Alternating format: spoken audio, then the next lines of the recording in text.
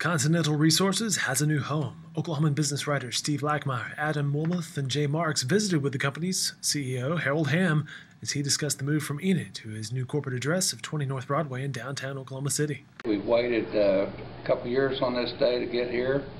Uh, our signage is going up on the building, and uh, we're announcing a, a new name for the building, Continental Oil Center, and we're preparing to move in uh, to two floors this week, and that's all the executives, and uh, getting my office prepared, and so I moved this week.